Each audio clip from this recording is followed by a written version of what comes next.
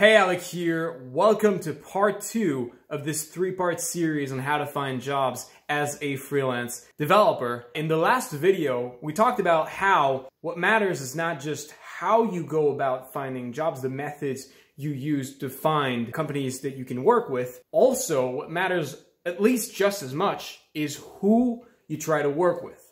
It doesn't matter if you have the best method of finding jobs in the world if all the people that you're trying to work with are all businesses who don't really want or need websites and who are not willing to spend a lot of money on the websites. So in the last video, I showed you how you go about finding good types of businesses that you could apply there as a freelance developer. Now the question is, how do you go about applying as a freelance developer? In my experience, the best method that you can use, especially if you're a beginner, is called mechanical outreach. And what I want you to understand about mechanical outreach through email is that it's very different from traditional cold email techniques. Mechanical outreach is a process through which you leverage modern technologies so that they do most of the work when you're using a strategy to message people. When it comes to email, traditional cold email is probably one of the most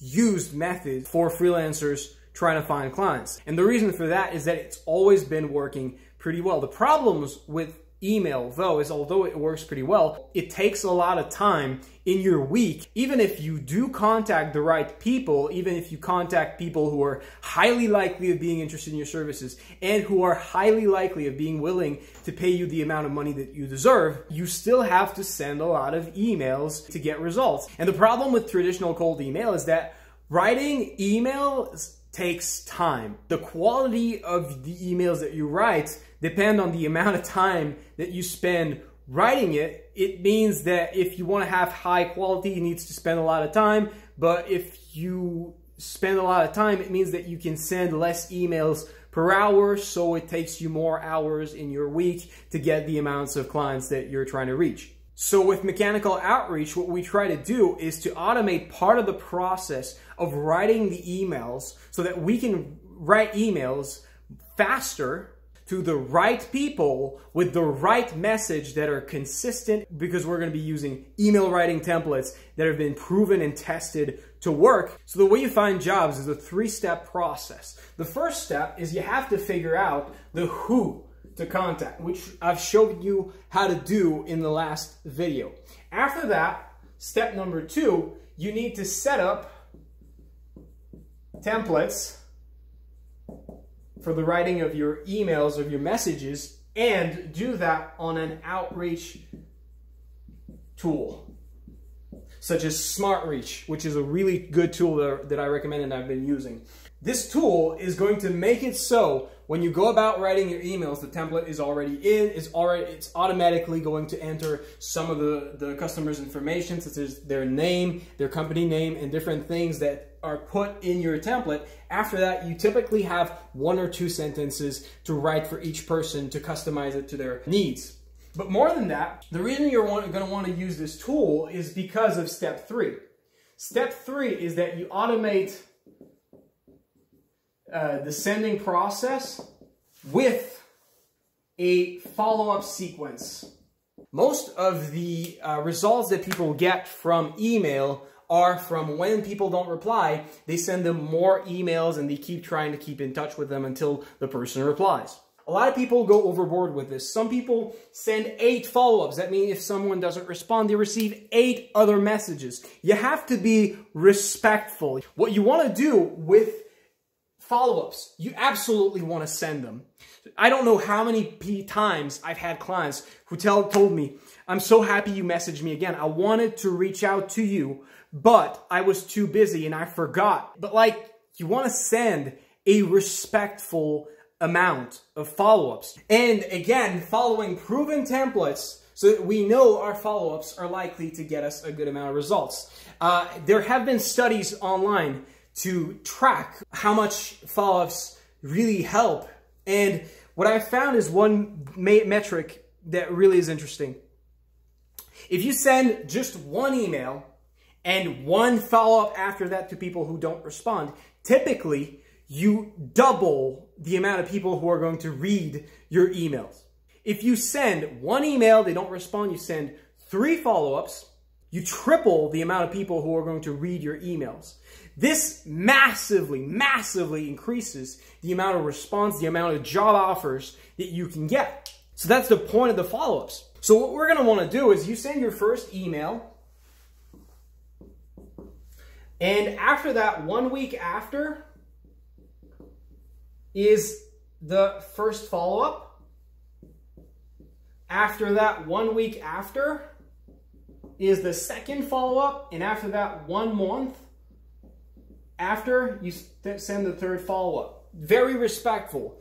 A lot of times, you will find that that third follow-up, that follow-up a month later, gives you a lot of results. Because a lot of times, the, the, the, the people want to respond to you, they want to hear what you have to say, they're just too busy. Messaging them a month later gives them an opportunity to reach out to you and read your things in a moment where they're not as busy. And the really cool thing about SmartReach is that it allows you to save a ton of time. You could do this whole sequence of emails without uh, mechanical outreach. The problem is, first of all, you have to send your first email. It takes you a bunch of time. Uh, then you have to remind yourself a week later to send the follow-up. Then you have to remind yourself a week after that uh, to send the follow-ups. And then you can spend hours a week just trying to manage who you need to follow up with, sending the follow-ups that you don't have to do with SmartReach. With SmartReach, it takes as much time to send all the follow-ups and, and automatically track everything the same amount of time that it takes to send just the first email.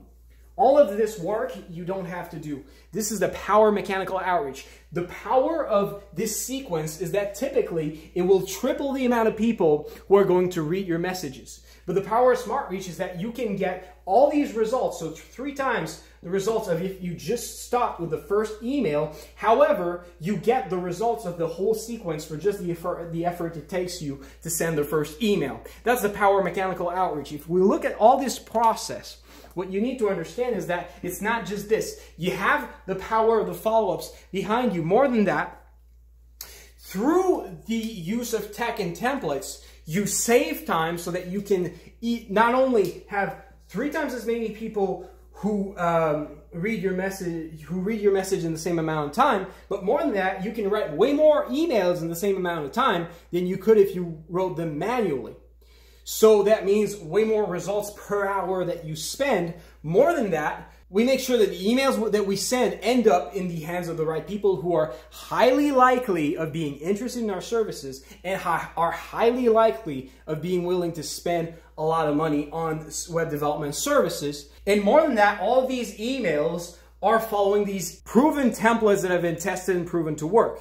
So not only are we contacting the right people in a crazy amount of right people, we are also contacting them with a message that has a high likelihood of getting them to be interested in our services. Cold email normally works, but this is the power of mechanical outreach when, once you add it on top of cold email. And the reason I think this is the best method for any beginner developer who uh, wants to freelance is that you don't need a lot of talent to be able to write these emails. You just follow the templates and this is the only client getting method that I know that can get someone who is a complete beginner clients that fast and spend less than two hours a week to find clients and still find enough high paying clients to sustain a very profitable career as a freelance developer. You could get great results with cold email, but one of my friends who tried to do that had to spend eight hours a week emailing people. He ended up giving up. The thing is, he wanted to make websites.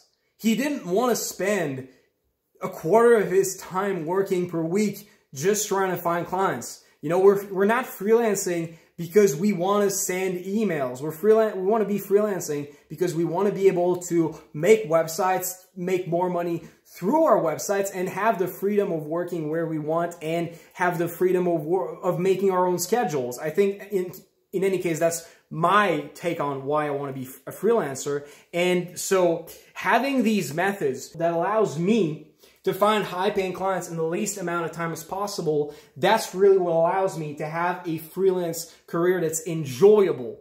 And in the next video, what I'm going to do is I'm going to show you how to take this to the next step and get started with mechanical outreach. If you don't want to miss that video, you want to subscribe. It's going to come out in exactly two days. Hit the notification bell if you want to be notified when it comes out. And with that said, I wish you a wonderful day and I'll see you in the next video.